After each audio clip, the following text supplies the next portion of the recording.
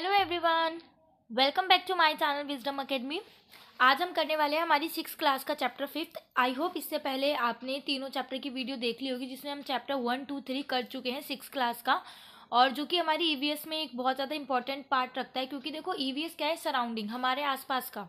और हमारे के के उसमें डायरेक्टली बोला हुआ है कि भले ही आपका जो सिलेबस है वो वन टू फिफ्थ का है एन e का बट उसका जो लेवल है वो डेफिनेटली ट्वेल्थ वाला होने वाला है। तो इसीलिए सीरीज़ में कि हम कर रहे हैं कि मीन्स अगर इन केस क्वेश्चन आगे से आता है, जैसे सिक्स सेवन्थ सिक्स की जो बुक है उसका नाम है हमारी पृथ्वी। तो पृथ्वी के बारे में डेफिनेटली हमारा जानना ज़रूरी है क्योंकि उसी में तो हम रहते हैं।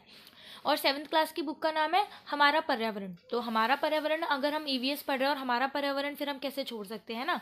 तो इसी में हम ये जो चैप्टर कर रहे हैं तो आई होप आप लोगों ने इससे पहले की तीन वीडियो देख ली होंगी, क्योंकि ये जो है सारी एक दूसरे के ऊपर इंटर रिलेटेड है। अगर आप पहले की वीडियोस नहीं देखोगे तो आपका बेस नहीं बनेगा, और हम आगे क्या पढ़ रहे हैं, वो आपको ठीक से समझ नहीं आएगा। तो एक अच्छा बेस बनाने के लिए आप डेफिनेटली पहले पहले की वीडियो देख लो, फिर ही इसके बाद आप इसको सुनना या देखना, तभी आपको समझ में आएगा कि ये क्या है। तो इससे पहले जो है, हम तीन चैप्टर कर चुके हैं। पार्ट चार की मैंने वीडियो इसलिए नहीं डाली क्योंकि वो चैप्टर ना बहुत इजी है। बहुत इजी इन द सेंस कि पेपर में भी उसमें से कुछ इतना पेपर के पॉइंट ऑफ़ व्यू से इतना ज़्यादा इंपॉर्टेंट नहीं है। और आज तक उस चैप्टर में से कोई क्वेश्चन आया नहीं है। वो बस मैप से रिलेटेड है कि जब भी हम मैप बनाते हैं तो हमारे लिए डायरेक्शन होनी चाहिए, कुछ जो थोड़े से पॉइंट्स होते हैं वो होने चाहिए। वो सारा पॉइंट्स के ऊपर था। इसलिए वो वीडियो मैंने बन नहीं बनाई। बट डेफिनेटली ये वीडियो जो है इंपॉर्टेंट है। ये जो आज हम पढ़ने वाले हैं पार्ट पाँच, पृथ्वी के प्रमुख परिमंडल। तो ये बहुत ज़्यादा ज़रूरी है और ये वीडियो थोड़ी सी भी बड़ी रहेगी क्योंकि इसमें ना काफ़ी सारी चीज़ें दी हुई हैं। एक इस चैप्टर में बहुत सारी चीज़ें हैं। बट अभी हमें क्या करना है? अभी हम कॉन्सेप्ट समझेंगे और फिर उसको पढ़ेंगे, फिर नोट्स बनाएँगे तो बहुत ज़्यादा टाइम जाएगा। बट इस वीडियो में मैं ट्राई करूँगी कि आपको कम से कम टाइम में ज़्यादा से ज़्यादा चीज़ें आप तक हो जाए, ताकि जो फैक्चुअल चीज़ें हैं, आप उसको याद कर लो या पढ़ लो, ताकि पेपर में अगर क्वेश्चन आता है तो आप कर लो, है ना? क्योंकि टाइम बहुत कम रह गया है तो ज़्यादा मतलब अंडरस्टैंडिंग पर ना जा करके डायरेक्टली सारी चीज़ें करेंगे। तो अभी हम स्टार्ट करते हैं, ठीक है? ये है पार्ट पाँच, पृथ्वी के प्रमुख परिमंडल। पृथ्वी है लास्ट वीडियो में हमने पृथ्वी के बारे में पढ़ा, जो भी सारी चीज़ें होती हैं सौर मंडल से लेकर के सारी चीज़ें हमने पढ़ ली। पृथ्वी कैसी है, अक्षांश क्या है, देशांतर क्या है, कहाँ से कहाँ तक फैला है टाइम कैसे देखते हैं, वो सारी चीज़ें हमने डिस्कस कर ली।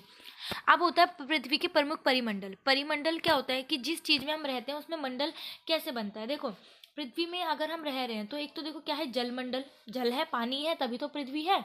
वायु है, वायु में हम सब सांस लेते हैं, ऑक्सीजन हमारे लिए सबसे ज़्यादा ज़रूरी है। और पानी और हवा, जहाँ पे मिलेगी हमें रहने के लिए जगह चाहिए, उसको बोलते हैं भूमंडल।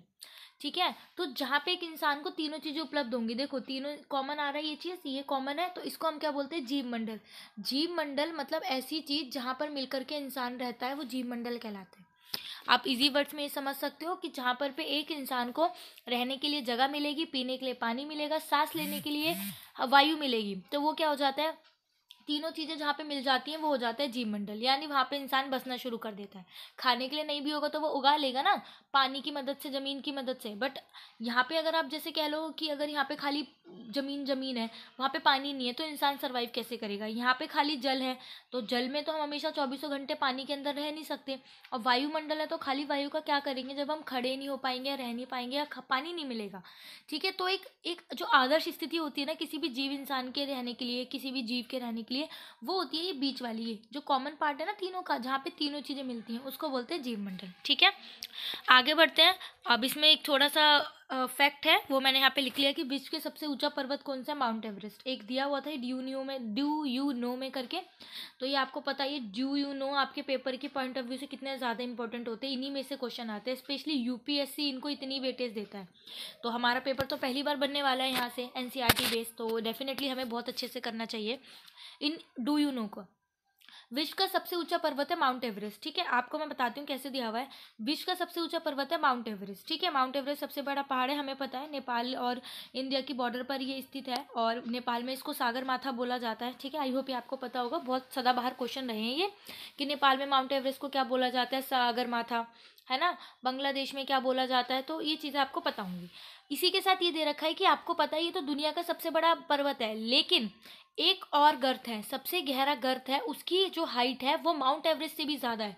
माउंट एवरेस्ट से भी ज़्यादा है देखो माउंट एवरेस्ट की कितनी है? एट एट फोर एट पर वो जो एक गर्त है ना, उसकी हाइट कितनी है? One one zero two two ठीक है, यानी कि ये तो सिर्फ़ आठ हज़ार बड़ा है, लेकिन वो जो गर्थ है one one zero two two girth आपको पता होगा ना गर्थ जो मतलब एक गड्ढा कह लो। गड्ढा कह लो या जो भी है कि एक सुरंग टाइप है या बहुत बड़ा गैप है तो ये कहाँ पर है? ये माउंट एवरेस्ट से भी बड़ा है, बहुत बड़ा है। ये दुनिया का सबसे गहरा गर्त है, मेरियाना गर्त। इसका नाम है मेरियाना गर्त, बहुत इंपॉर्टेंट है। और ये कहाँ पर है? प्रशांत महासागर में। प्रशांत महासागर के अंदर स्थित है। ये तो बाहर है, इसलिए सबसे बड़ा है। लेकिन इससे भी बड़ा कुछ है मेरियाना गर्त, वो है प्रशांत महासागर में, ठीक है? तो अब इससे पहले आ जाते हैं हम ठीक है? सो ये आपको समझ में आया होगा। अब नेक्स्ट है हमारे महाद्वीप। तो महाद्वीप क्या होते हैं? जहाँ पे इंसान बसते हैं, जहाँ पे इंसान रहते हैं तो आपको पता है पृथ्वी पे सात महाद्वीप हैं। है ना? पृथ्वी को सात महाद्वीपों में बांटा गया है तो पृथ्वी के ये सात महाद्वीप हैं। उसमें सबसे बड़ा महाद्वीप है एशिया, जहाँ पे हम लोग रहते हैं। जहाँ पे हमारा दुश्मन, सॉरी, हमारा दोस्त पाकिस्तान रहता है। जहाँ पे अफ़गानिस्तान है मीन्स पूरा एशिया का एरिया आप जानते होगे, जो एशिया है, ठीक है? ये क्या है? सबसे बड़ा है। एशिया क्या है? पूरी दुनिया का सबसे बड़ा महाद्वीप है। क्यों? क्योंकि इसने पृथ्वी के कुल क्षेत्र का एक बटे तीन परसेंट ले रखा है। अभी लास्ट वीडियो में हमने डिस्कस करा था कि कितने पर जल है, कितने पर पृथ्वी है है ना? तो पृथ्वी कितने पर है? इकहत्तर परसेंट आप निकाल दो तो twenty percent twenty nine percent पर पृथ्वी है। तो ट्वेंटी नाइन परसेंट का भी वन बाय थर्ड तो सिर्फ़ इस एशिया ने ले रहा है, सिर्फ़ एशिया ने। मीन्स कि मान लो देखो मान लो कि कोई भी चीज़ सौ है तो इसका वन थर्ड, यानी कि तैंतीस। तैंतीस ले रखा है, एक चीज़ ने और बाकी कितने बचेंगे फिर? फिर बचेंगे सिक्सटी सेवन तो इस सिक्सटी सेवन को आपको छः लोगों में बांटना है, सोचो। अगर आप बांटोगे कि सिर्फ़ ग्यारह ग्यारह कुछ ग्यारह परसेंट कुछ बचेगा, ग्यारह eleven point two eleven point one बचेगा मतलब इलेवन पॉइंट वन वन बचेगा। मतलब देखो, एक का हिस्सा पड़ रहा है ग्यारह, और इस अकेले का हिस्सा है तैंतीस। तो ऑब्वियसली ये एक कुछ तो बात होगी ना एशिया में, जो ये इतना बड़ा है। तो एशिया क्या है? हमारा है, जिसमें हम रहते हैं। हम हमारा इंडिया यहाँ पे स्टैंड करता है। एशिया में सबसे बड़ा महाद्वीप है। पूर्वी के क्षेत्र का एक बटे तीन ले रखा है। ये पूर्वी गोलार्ध में स्थित है। ऑब्वियसली ये है, ये रहा। ये हमारा पूर्वी गोलार्ध बनता है। तो पूर्वी गोलार्ध कहाँ आता है? यहाँ पे। तो ये यहाँ पर स्थित है। और ये कर्क रेखा भूमध्य की रेखा बीच में स्थित है। तो मैं आपको बता देती हूँ, ये रही ये रही हमारी कर्क रेखा, भूमध्य रेखा होती है ये रही। तो इसके बीच वाला ये जो एरिया है ना इधर, इस सॉरी ऊपर चली गई मैं। ये और ये। तो इसके जो बीच वाला एरिया इधर का सारा, ये हमारा पड़ता है भूमध्य रेखा ठीक है? एक है यूराल पर्वत। बहुत फ़ेमस पर्वत है, आपने पढ़ा होगा। वैसे इसका कुछ काम नहीं है बट हम इसको याद क्यों करते हैं? क्योंकि एशिया को यूरोप से अलग करता है। एक और यूरोप महाद्वीप भी है, इसको भी पढ़ेंगे हम। तो वो भी है तो इसको अलग कौन करता है? यूराल पर्वत। यानी यूराल पर्वत देखो, मान लो ये रहा, और ये है हमारा एशिया तो बीच में ना यूराल पर्वत की एक श्रेणी है, और यहाँ पे आ जाता है यूरोप। तो यूरोप को एशिया से अलग कौन करता है? ये यूराल पर्वत, इसका काम है। अगर मान लो यूराल आ गया ना तो यहाँ से हम समझ लेंगे कि अब बॉर्डर लग गया, यूरोप का और इंडिया का एशिया का बॉर्डर लग गया, ठीक है? मैंने इसलिए यहाँ पे मैप भी रखा है ताकि आपको ज़्यादा क्लियरली अच्छे से समझ में आए तो ये रहा, देखो ये दिखाती हूँ मैं। ये देखो, ये ना हमारा एशिया, ये पूरा दिख रहा होगा आपको, यहाँ पे हमारा पूरा अच्छे से कितना बड़ा है, देखो, पूरा एशिया हमारा ये यहाँ तक फैला हुआ स्थित है। तो ये जो श्रृंखला आएगी ना, ये हमारी, ये कहाँ पे आती है? ये यूराल पर्वत की श्रेणी होती है और यहाँ से हमारा स्टार्ट हो जाता है यूरोप। तो आप यहाँ से देख भी रहोगे यूरोप कितना है है ना? तो ये दूसरा सबसे छोटा है मीन सबसे छोटा है ये, लेकिन दूसरे नंबर का। सबसे छोटा कौन सा है? ऑस्ट्रेलिया, ठीक है? सबसे छोटा ऑस्ट्रेलिया, पहले नंबर पे ये छोटा है, फिर दूसरा सबसे छोटा कौन सा है? यूरोप। ये फैक्ट इसी के साथ था, यहीं पे था तो मैंने सोचा यहीं पे बता दूँ, आप विजुअली देख रहे हो तो आपको ज़्यादा जल्दी से याद होगा। सबसे बड़ा एशिया, सबसे छोटा है ऑस्ट्रेलिया, फिर जो दूसरे नंबर का छोटा है, वो है यूरोप, क्योंकि आपको याद करने पड़ेंगे और क्वेश्चन ऐसे ही आते हैं, ठीक है? अब आते हैं हमारे यूरोप पे। यूरोप क्या है? दूसरा सबसे बड़ा नहीं है दूसरा सबसे छोटा है और आकृतिक व्रत इससे होकर के गुजरता है। और ये एक यूरोप महाद्वीप ऐसा है जो तीन ओर से जल से घिरा हुआ है। ये जो यूरोप है ना महाद्वीप, वो ऐसा है जो तीनों ओर से जल से घिरा हुआ है और जो आकृतिक व्रत है, इसको छू करके जाता है यूरोप को। ठीक है? आकृतिक व्रत, ये जो ऊपर वाला व्रत होता है आकृतिक व्रत कहलाता है, ये इसको छू करके जाता है। ठीक है? फॉर क्लेरिफिकेशन मैं आपको दिखा देती हूँ, ये रहा देखो। ठीक है? ये देखो, ये यहाँ से भी पानी है, ये यहाँ पे भी पानी है, यहाँ पे भी पानी है। मीन्स एक तरफ़ तो ये हमारे एशिया से घिरा हुआ है, बाकी तीन तरफ़ ये पानी से घिरा हुआ है। और ये देखो, ये जो ऊपर आपको आकृतिक व्रत व्रत दिख रहा है, ये ऊपर वाला, ये आकृतिक व्रत जो है, ये ये ये ये इसको छू करके जा रहा है, ठीक है? ये इसको ऐसे छू करके जाता है। तो वही चीज़ हमारी यूरोप में है, लिखी हुई है, ठीक है? फिर इसके बाद आता है हमारा तीसरा अफ्रीका। तो सबसे बड़ा हमारा महाद्वीप कौन सा है? एशिया महाद्वीप, ठीक है? दूसरा हमारा सबसे बड़ा महाद्वीप कौन सा है? अफ्रीका। पहला सबसे बड़ा है एशिया, दूसरा है अफ्रीका है, दूसरा सबसे बड़ा। इसकी पता है खास बात मुझे क्या लगती है? मीन्स ये एक ऐसा अकेला कॉन्टिनेंट है, एक अकेला ऐसा महाद्वीप है, जो कर्क रेखा, मकर रेखा, भूमध्य रेखा तीनों को ही टच करता है। मीन्स तीनों होकर के जाती हैं इससे। तो इसकी बहुत अच्छी बात है, और ये दोनों ही पॉइंट हैं आपके रिमेंबर रखने वाले, याद रखने वाले, कि क्या है? सहारा सहारा रेगिस्तान है, वो दुनिया का सबसे बड़ा गर्म मरुस्थल है। ठीक है, एक तो गोभी मरुस्थल भी है जो सबसे बड़ा है, लेकिन यहाँ पे हमको क्या ध्यान रखना है, दुनिया का सबसे गर्म मरुस्थल, सबसे ज़्यादा गर्म रेगिस्तान कहाँ पर है? अफ्रीका में। उसका नाम क्या है? सहारा। क्योंकि अफ्रीका में गर्मी इतना पड़ती है तो ऑब्वियसली गर्म मरुस्थल होगा तो उसको किसी सहारे की ज़रूरत होती है। तो किस सहारे की ज़रूरत हो रही है? उसको अफ्रीका को, क्योंकि अफ्रीका में ही सहारा रेगिस्तान है, ठीक है? तो सहारा रेगिस्तान गर्म होने के लिए किसका सहारा ले रहा है? अफ्रीका का। तो इस तरीके से आपको याद हो जाएगा सारा रेगिस्तान दुनिया का सबसे बड़ा गर्म मरुस्थल है, जो कि अफ्रीका में है। और विश्व की सबसे लंबी नदी, आपको पता है ना, नील नदी, कितना इंपॉर्टेंट क्वेश्चन है। अब तो अभी आना भी बंद हो गया है, ठीक है? विश्व की सबसे लंबी नदी कौन सी है? नील, वो भी अफ्रीका में ही है। और इसको लेकर मकर व भूमध्य रेखा के लिए मैं एक बार आपको फिर से मैप दिखाती हूँ। ये देखो, आपको दिख रहा है ये साउथ अफ्रीका, ठीक है? ये रहा साउथ अफ्रीका। और ये देखो, तीनों जो लाइनें हमारी इससे होकर के जाएँगी। ये देखो, ये जा रही है हमारी भूमध्य रेखा, ये जा रही है मकर रेखा और ये ऊपर को जा रही है कर्क रेखा। ठीक है, उधर से होकर के मतलब टच नहीं कर रहा है बट ये बॉर्डर पानी वाला सारा उधर से जाता है जाता है। तो ये अकेला ऐसा कॉन्टिनेंट है। सॉरी ये तो साउथ अमेरिका का बता दिया सो सॉरी ये है ये है अमेरिका। सॉरी ये है अफ्रीका। ठीक है, ये है अफ्रीका। ये इसके साथ इसकी जल संधि भी है, अभी मैं वो भी बताती हूँ।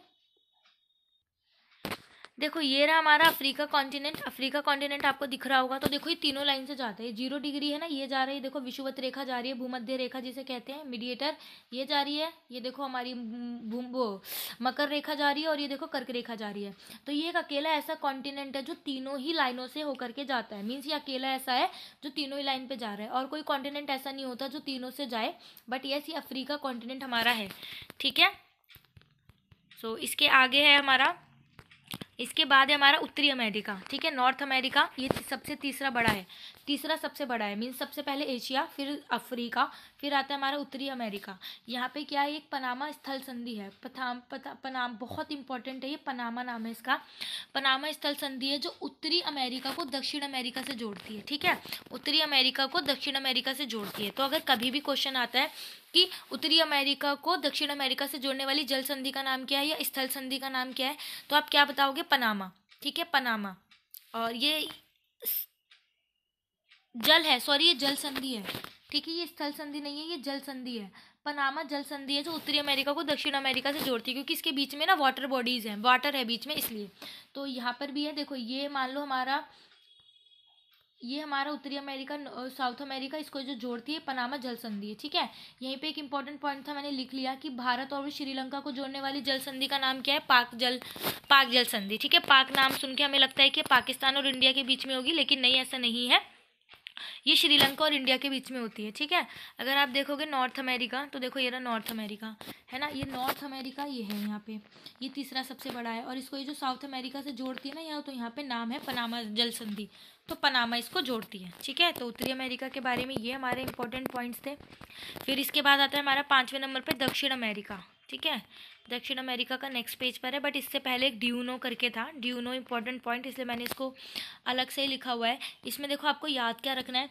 आ, सबसे पहले माउंट एवरेस्ट पे कौन चढ़े थे? तो न्यूजीलैंड के एडमन हिलेरी ठीक है? न्यूजीलैंड के एडमन हिलेरी और भारत के तेंजिंग नॉर के शेरपा उनतीस मई 1953 को माउंट एवरेस्ट पर चढ़े।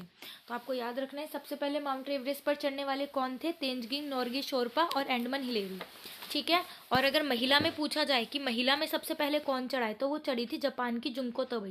ये बहुत नाम फ़ेमस है। जुमको तबई बहुत बार पेपर में क्वेश्चन आया, बहुत बार। मीन्स देखो, हम सोचते हैं ना क्वेश्चन कहाँ से आ रहे, कहाँ से आ रहे लूशन रट लो लूशन रट लो। लेकिन अगर आप एनसीईआरटी पढ़ लोगे तो लूशन की ज़रूरत ही नहीं रहेगी सारे क्वेश्चन यहीं से हैं। तो सबसे पहले कौन चले थे? एडमन हिलेरी और भारत के तेंजिंग नॉर के शिरपा। और जापान की कौन चढ़ी है? जुमको तोबई। ठीक है? उन्नीस में ये चढ़ी थी। ठीक है? और इंडिया से कौन चढ़ी हैं? तो वो तो बहुत फ़ेमस नाम है, यानी कि बछिंद्री पाल, जो कि 1984 को चढ़ी थी, ठीक है? मोस्टली सब मई में ही चढ़ रहे हैं। देखो twenty nine May sixteen May twenty three May, क्योंकि वहाँ की सिचुएशन सही रहती होगी मे बी इस टाइम पे चढ़ने के लिए। तो आप क्वेश्चन क्या है? एडमंड हिलेरी तेंजिंग नोर के शिरपा, आदमियों में सबसे पहले चढ़े। जापान की जुंको तुबई सबसे पहले चढ़ी, महिलाओं में, और इंडिया में कौन चढ़ी? बछेंद्री पाल। ठीक है, अब आते हैं हमारे दक्षिण अमेरिका में। तो दक्षिणी अमेरिका जो है हमारी, साउथ अमेरिका, यानी कि विषुवत व मकर रेखा के बीच में होती है। ठीक है तो ये रहा विषुवत रेखा, ये रही मकर रेखा। इसके बीच में ये यहाँ पर है। और इसमें एक फ़ेमस है, जो इम्पोर्टेंट चीज़ है, वो क्या है कि यहाँ पे इंडीज़ की विश्व की सबसे लंबी पर्वत श्रृंखला है। इंडीज है ना, ये पर्वत श्रृंखला का नाम है। ये जो पर्वत होते हैं ना, पर्वत ऐसे करके इसकी पूरी श्रृंखला, लंबी श्रृंखला बनी हुई है, सबसे लंबी श्रृंखला। तो ये कहाँ पर है? सबसे लंबी श्रृंखला पर्वत श्रृंखला ये दक्षिण अमेरिका में ही है। और यहाँ पे एक नदी भी है, अमेजन, जो बेसिन के अनुसार सबसे बड़ी नदी है। वैसे क्षेत्रफल एरिया के हिसाब से आप देखोगे तो सबसे बड़ी नदी कौन सी नील। लेकिन अगर बेसिन के हिसाब से आप देखोगे तो अमेजन सबसे बड़ी नदी है। ठीक है? एक बार ही सारा पढ़ लेते हैं, फिर एक साथ ही इनको मैप में देख लेंगे। फिर हमारा ऑस्ट्रेलिया। तो ऑस्ट्रेलिया मैंने बताया था सबसे छोटा महाद्वीप है, और ये द्वीपीय महाद्वीप है। द्वीपीय मतलब महाद्वीप एक द्वीपीय द्वीप महाद्वीप क्या होता है जहाँ पे छोटे छोटे टापू होते हैं, द्वीप होते हैं। तो ऑस्ट्रेलिया ऐसा महाद्वीप है जहाँ पे द्वीप बहुत ज़्यादा पाए जाते हैं। दक्षिणी गोलार्ध में स्थित होता है, अभी हमने देखा यहाँ पे कोने की साइड पे था दक्षिणी गोलार्ध में, और ये सिर्फ़ मकर रेखा को टच करता है, ठीक है? तो ये ऑस्ट्रेलिया। फिर है अंटार्कटिका। तो ये अंटार्कटिका क्या है? चौथे नंबर का सबसे बड़ा होता है, या फिर आप छोटा भी कह लो, क्योंकि देखो, सात होते हैं तो हमने पढ़ा पहले ऑस्ट्रेलिया, फिर यूरोप, फिर जो तीसरे नंबर पे आएगा ना हम बढ़ते क्रम में, सबसे छोटा ऑस्ट्रेलिया, फिर फिर आएगा हमारा यूरोप, फिर अंटार्कटिका आता है, ठीक है, फिर अंटार्कटिका आता है बट हम इतना ज़्यादा कर चुके हैं कि पहले नंबर पे एशिया, दूसरे नंबर पे ये, अफ्रीका, तीसरे नंबर पे उत्तरी अमेरिका तो हम यहाँ पर छोड़ देते हैं आकर के। ठीक है? तो ये क्या है? दक्षिण ध्रुव के मध्य में है, दक्षिण ध्रुव के ठीक ठीक बीच में है और यहाँ पे स्थायी मानव का निवास नहीं है मतलब यहाँ पे स्थायी मानव नहीं पाया जाता। बाकी सारे आप देखोगे ना, ऊपर के कॉन्टिनेंट तो यहाँ पर इंसान लोग रहते हैं, आदमी लोग, ज़िंदा लोग आपको मिल जाएँगे। लेकिन इस कॉन्टिनेंट पर अंटार्कटिका पर आपको स्थायी मानव नहीं मिलेंगे और यहाँ पे भारत ने अपने शोन्द्र गेद स्थापित करे हैं, जो कि इनके नाम याद रखना बहुत इंपॉर्टेंट है। मैत्री, दक्षिण गंगोत्री और भारती। ठीक है? तीन स्टेशन हमारे अभी तक शोध केंद्र यहाँ पे स्थापित हो चुके हैं। रिसर्च केंद्र, जिनका नाम है मेत्री, दक्षिण गंगोत्री और भारत, भारती, ठीक है? तो अब इनको सारी चीज़ों को एक बार मैप में देख लेते हैं। तो ये रहा देखो हमारा ऑस्ट्रेलिया दक्षिण ध्रुव में है, बिल्कुल, और ये मकर रेखा से जा रहा है। तो बिल्कुल बात ठीक है। यूरोप का हमने पहले से ही पढ़ लिया, ये यहाँ पे था। साउथ अमेरिका एरी मैं यहाँ पे आपको एंडिस पर्वतमाला दिखा देती हूँ, ठीक है? बहुत ज़रूरी है। ये देखो, ये पूरी जो है ना, ये पूरी की पूरी पर्वतमाला बनी हुई है। यहाँ पे पूरे पे पहाड़ पहाड़ पहाड़ करके ये साइड में पूरी पर्वतमाला बनी हुई है। इसलिए दुनिया की सबसे लंबी पर्वतमाला है, ठीक है? तो ये थे हमारे सात महाद्वीप। सो आई होप आपको ये महाद्वीप वाला कॉन्सेप्ट अच्छे से समझ में आ गया होगा, क्या महाद्वीप है। बेसिकली बस इनके इंपॉर्टेंट पॉइंट्स हमने पढ़े हैं। ये देखो, हमारा जो जलमंडल है, क्या है? ये हमने पहले भी डिस्कस करा है कि सत्तर परसेंट पार्ट पर क्या है? पानी पानी पानी है। मैं पानी पानी हो गई। पानी पानी पानी है यहाँ पे यह ट्वेंटी नाइन परसेंट पर है ज़मीन। तो इसलिए पृथ्वी को नीला ग्रह बोला जाता है और उसमें भी हमको ये ना ध्यान रखना है। देखो इकहत्तर परसेंट भाग पर तो पानी है, ठीक है? अब हम उस इकहत्तर की बात करते हैं। उस इकहत्तर परसेंट में से भी नाइन्टी सेवन परसेंट जो जल है वो महासागरों में महासागरों में है आलवड़ीय जल है और बर्फ़ के रूप में पहाड़ों पर जमा हुआ है। ठीक है? वहाँ पानी के फॉर्म में है ही नहीं, वो बर्फ़ के रूप में है या भूमिगत जल के रूप में है नाइन्टी सेवन परसेंट पानी। उसमें से तीन परसेंट पानी जो है, देखो उसमें से क्या है तीन परसेंट पानी भी? बर्फ़, जल भूमि मतलब देखो, एक बार दोबारा बताती हूँ। नाइन्टी सेवन जो परसेंट है नाइन्टी सेवन परसेंट तो पीने योग्य है ही नहीं, हम उसको पी नहीं सकते। ठीक है, नाइन्टी सेवन को हम पी नहीं सकते, जो तीन परसेंट बचा है, उसमें से भी बर्फ़ के रूप में जमा हुआ है। ठीक है, महासागरों में नाइन्टी सेवन परसेंट महासागरों में है, तीन परसेंट भी बर्फ़, जल, भूमिगत रूप में है, उसमें से भी हमारे पास जो सिर्फ़ पीने वाला पानी है, ठीक है, जिस पानी को हम पी सकते हैं, उसकी मात्रा है सिर्फ़ पॉइंट थ्री परसेंट। ठीक है, ये देखो, यहाँ पे मैंने लिखा हुआ है पॉइंट जी, पॉइंट ज़ीरो थ्री परसेंट पानी हम पी सकते हैं। बाकी वो भी आलवड़ीय जल है, जिसको हम प्योरीफाई कर करके पीते हैं। तभी आप अपने घरों में प्योरीफायर वगैरह सब लगवाते हैं ना। तो वो चीज़ है, ये देखो ये देखो। ठीक है? तो क्या है यहाँ पे? कि पीने का जल है, वो पॉइंट ज़ीरो थ्री परसेंट है। बाकी आलवड़ीय जल है, जो बर्फ़ और जल भूमिगत के रूप में छुपा हुआ है। बाकी सारा महासागरों में है। तो इसी तरीके से हम अपने महासागर भी पढ़ लेते हैं, कितने महासागर होते हैं। तो ये बचपन से ही पढ़ते हुए आते हैं। तो हमारा पाँच महासागर होते हैं। तो उसमें सबसे पहले फ़ेमस कौन सा हमारा प्रशांत महासागर। ठीक है? प्रशांत महासागर क्या है? पृथ्वी का एक बटे तीन भाग पर है। मीन ये सोचो सोचो कि प्रशांत महासागर अपने नाम की तरह कितना प्रशांत है, कितना बड़ा है। क्योंकि एक बटे तीन भाग पर है पृथ्वी का। मान लो सौ है। ठीक है? सौ में से एक बटे तीन भाग पर, यानी तैंतीस परसेंट पर तो पानी ही पानी है। एशिया भी, महाद्वीप भी तो ऐसा ही है ना? पर एशिया क्या है? ट्वेंटी नाइन परसेंट पर ज़मीन है तो ट्वेंटी नाइन परसेंट के एक बटे तीन भाग पर वो है, यानी उनतीस का एक बटे तीन कर लो, यानी तीस का एक बटे भी तीन करोगे तो यानी दस पर। पूरी पृथ्वी का एक बटे तीन भाग, यानी सौ का एक बटे तीन भाग, यानी तैंतीस पर सिर्फ़ प्रशांत महासागर है, ठीक है? और ये लगभग व्रताकार होता है व्रताकार की शेप में है, और इसके अंदर मरियाना गर्त है, जो हम ऑलरेडी पढ़ चुके हैं, ठीक है? फिर नेक्स्ट आता है हमारे पास अटलांटिक महासागर, ये क्या है? दूसरा सबसे बड़ा सागर है दूसरा सबसे बड़ा सागर है और इंपॉर्टेंट है ऐसा कार का। अब देखो क्वेश्चन ना थोड़े से एडवांस हो गए हैं। प्रशांत महासागर से क्वेश्चन नहीं आता क्योंकि सब उसका बता देते हैं। अब क्वेश्चन आता है अटलांटिक महासागर में से, क्योंकि दूसरा सबसे बड़ा ऐसा कार का सागर है। ठीक है? दूसरा सबसे बड़ा सागर है, ऊपर से ये एस की शेप बनाता है। ठीक है? मैं आपको इस मैप में दिखाती हूँ, अगर मैं दिखा पाती हूँ तो ये एस की शेप बनाता है। देखो इस तरीके से कैसे। नॉर्थ अटलांटिक महासागर देखो, ये ना इस तरीके से कुछ है। इस यहाँ से यहाँ पे पूरा फैला हुआ है। नॉर्थ अटलांटिक है ना, ये देखो, ये पूरा इस तरीके से यहाँ पे फैला हुआ है। तो ये देखो, ऐसा कार की शेप बन रही है ना तो इसलिए इसको ऐसा कार का बोला जाता है। और ये इंपॉर्टेंट भी है, क्योंकि इससे बहुत सारा काम होता है। इसकी दंतुरित तट रेखा है। दंतुरित मतलब कटी पिटी दंतुरित तट रेखा है। यहाँ पे प्राकृतिक पौछरे भी है, बंदरग्रह भी हैं। क्योंकि देखो, ये देशों के बीचों बीच में पड़ता है तो इसको बहुत ज़्यादा यूज़ करा जाता है यातायात के लिए। एक दो यहाँ से आने जाने के लिए। तो ये व्यापार की दृष्टि से सबसे व्यस्त महासागर है। बड़ा तो प्रशांत महासागर है, लेकिन फिर भी वो इतना ज़्यादा बिज़ी नहीं रहता जितना ये रहता है। क्योंकि इसका यूज़ कहीं ना कहीं, कभी ना कहीं, कैसे ना कैसे लगा रहता है। तो ये कुछ इंपॉर्टेंट चीज़ें हैं अटलांटिक महासागर में जो हमें पता होनी चाहिए, ठीक है? फिर इसके बाद है हमारा हिंद महासागर। ये हिंद महासागर एक ऐसा महासागर है जिसका भारत के नाम पर पे नाम पड़ा है। तो ये हमारे लिए इंपॉर्टेंट है भाई। हिंदुस्तान, हिंदू। हिंदुस्तान। तो इसका नाम हिंद महासागर भारत के नाम पर पड़ा है और ये त्रिभुजाकार होता है, ठीक है? इसमें इतना ही था। दक्षिणी महासागर दक्षिणी महासागर क्या होता है? ये अंटार्कटिका महाद्वीप के चारों ओर है, ठीक है? अंटार्कटिका महाद्वीप के चारों ओर फैला हुआ है, इसका इतना ही था। और आर्कटिक क्या है? उत्तरी ध्रुव में दीक्षित स्थित है। उत्तरी ध्रुव में स्थित है और बैरिंग जल संधि है। इसके साथ प्रशांत महासागर को आर्कटिक महासागर से जोड़ता है। क्या इंपॉर्टेंट है इसमें? एक बैरिंग जल संधि है। बहुत इंपॉर्टेंट है, बहुत। बैरिंग जल संधि हो रखी है, जिससे प्रशांत महासागर को, ये आर्कटिक महासागर को जोड़ती है बैरिंग जल संधि। एक बार मैप में भी हम देख लेते हैं। देखो, ये अंटार्कटिका है। यहाँ पे हमारा ओशन होंगे। देखो, ये है हमारा इंडियन ओशन। ठीक है, ये हमारा north Atlantic ocean Pacific ocean यानी प्रशांत महासागर, ये हिंद महासागर है, ये अटलांटिक महासागर है, ये हमारा दक्षिणी सागर ओशन है। देखो, दक्षिण में है ना, पूरा नीचे दक्षिण की तरफ़ है, इसलिए इसका नाम दक्षिण है। दक्षिणी सागर इसलिए ही इसका नाम दिया गया है, ठीक है? अब ये जो हमारा अंटार्कटिका है, यहीं पे हमारा आर्कटिक महासागर है, ठीक है? सो ये ऊपर की तरफ़ ये रहा। आर्कटिक महासागर, वो पृथ्वी चौड़ी है, जब आप इसको ऐसे जोड़ दोगे तो उसकी जो स्थिति है वो इस तरीके से हो जाएगी, क्योंकि पृथ्वी घूमी हुई ना, ये उसको दे रखा है। उत्तरी ध्रुव में स्थित है तो वो ऊपर है। देखा, आर्कटिक महासागर हमारी इस साइड में था, उत्तरी ध्रुव में स्थित है, बिल्कुल। ठीक है? तो ये था हमारा महासागर। अब एक छोटा सा पॉइंट है, और एक और बना हुआ है। देखो, अभी ये पृथ्वी पे हमने तीन चीज़ें पढ़ी। तो पहले पढ़ा हमने भूमंडल। सबसे पहले देखा तो भूमंडल में हमने देखा कि पृथ्वी को सात महाद्वीपों में बांटा हुआ है। तो हमने उन सात महाद्वीपों के बारे में अलग अलग पढ़ा। फिर हमने पढ़ा था जलमंडल। तो जलमंडल में पाँच महासागर है तो हमने उन पाँचों महासागर के बारे में पढ़ा। अब तीसरा क्या बचा था हमारा? वायु। है ना? वायु भी तो हमारे लिए ज़रूरी है। जब तीनों मिल जाएँगे, तभी तो जीव मंडल होता है। तो इसलिए हमें वायुमंडल के बारे में भी पढ़ना ज़रूरी है। तो वायुमंडल क्या है? तीसरी परत है वायुमंडल। तो ये क्या है? सोलह सौ किलोमीटर ऊंचाई तक फैला हुआ है, जिसको हमने पाँच परतों में बांटा हुआ है। मतलब पाँच लेयर है। जैसे कि मान लो ये हमारी अर्थ है, ये ज़मीन है, ये हमारे घर बने हुए हम यहाँ पे घर पे अपनी झोपड़ी बना करके रह रहे हैं।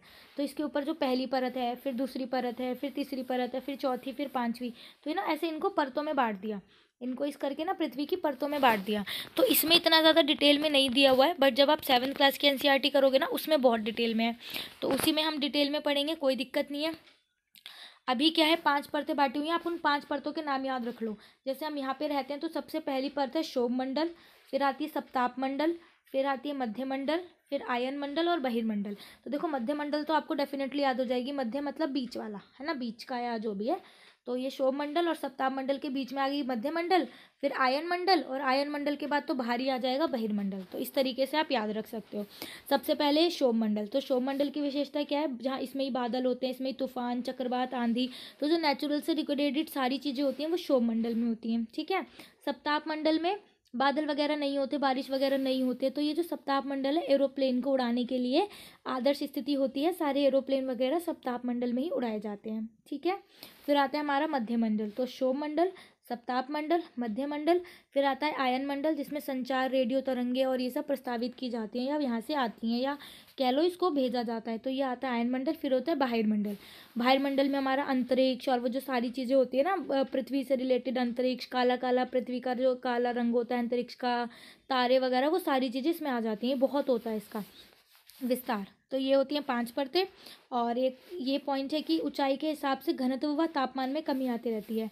पहाड़ों व पर्वतारोहियों को सांस लेने में कठिनाई होती है क्योंकि क्यों होता है? जैसे जैसे हम ऊपर चढ़ते जाते हैं ना जैसे जैसे हम ऊपर चलते जाएँगे जितना ऊपर बढ़ते जाएँगे ठीक है तो क्या होता है? ऊंचाई के हिसाब से हमारे घनत्व और तापमान में कमी होने लगती है। तो इस वजह से क्या होता है कि हमें सांस लेने में दिक्कत होती है क्योंकि जैसे जैसे हम ऊपर जाएँगे ना वायु का अभाव होने लगता है। वायु का अभाव क्योंकि वायुमंडल है पाँच परतों में उसको बांट रखा है तो सारी वायु जो हमारी नीचे सपनाम मंडल तक सीमित सीमित होकर के रह जाती हैं। तो जैसे जैसे हम ऊपर जाएँगे, घनत्व में कमी आएगी, तापमान में कमी आएगी, ठंडी लगने लगेगी, ठंड बहुत ज़्यादा बढ़ जाएगी तो वहाँ पे क्या होता है, वायु का थोड़ी सी कमी पड़ती रहती है, जिस वजह से पर्वतारोहियों को सांस लेने में कठिनाई होती है। ठीक है? तो बस ये चैप्टर में इतना ही था। आई होप आप, आपका कॉन्सेप्ट जो है क्लियर हो गया होगा, अच्छे से आपको समझ में आया होगा।